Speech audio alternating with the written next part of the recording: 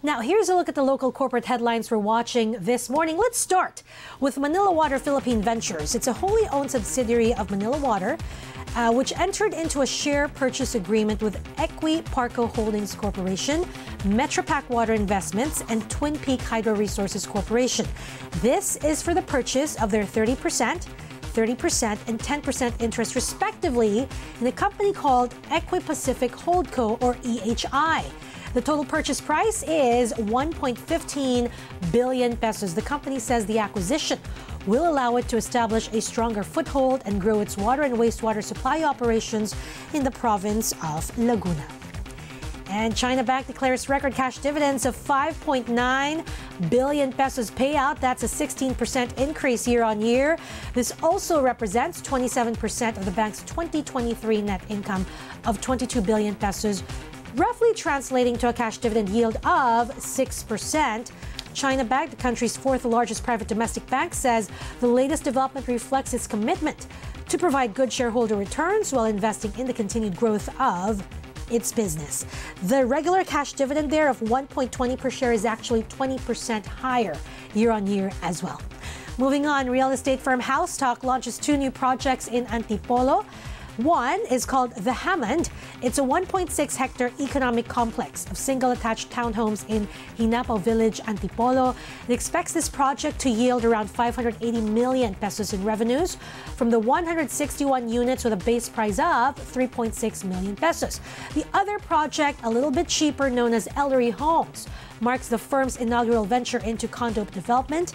It's expecting to rake in some 260 million pesos from 144 units offered at a much lower price of 1.8 million pesos. Both projects will be marketed starting the third quarter of this year.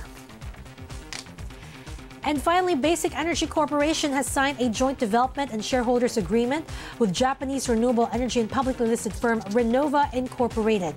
The company says the agreement will advance the development of the 4,800 hectare Mabini Wind Energy Project in Batangas. The project is expected to generate a capacity of around 50 megawatts. Securities and Exchange Commission upholds its cease and desist order against the MFT Group, led by CEO Maria Francesca Mikatan, Foundry Ventures, and its officers and agents concerning its alleged illegal sale of investment contracts to the public. The Commission en banc had issued the CDO back in January after the MFT Group, which later on transitioned to Foundry Ventures, was found to have engaged in the unlawful solicitation, offer, and or sale of securities in the form of investment contracts without the necessary license from the SEC. Based on complaints, the group had solicited investments supposedly for startup companies in exchange for a guaranteed return ranging from 12 to 18 percent per annum. The group had also issued post-dated checks that were never paid. And in a bid to boost capital market activity, the SEC has removed the minimum amount of commission that stockbrokers may charge their customers.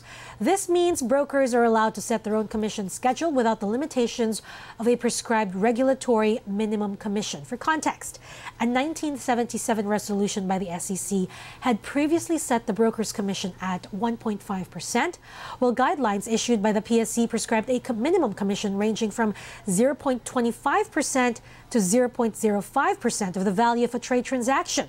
The removal of the minimum commission takes into account the rise of online trading platforms, which have paved the way to more cost efficient transactions. It also empowers the public to engage the services of a broker based on cost preference.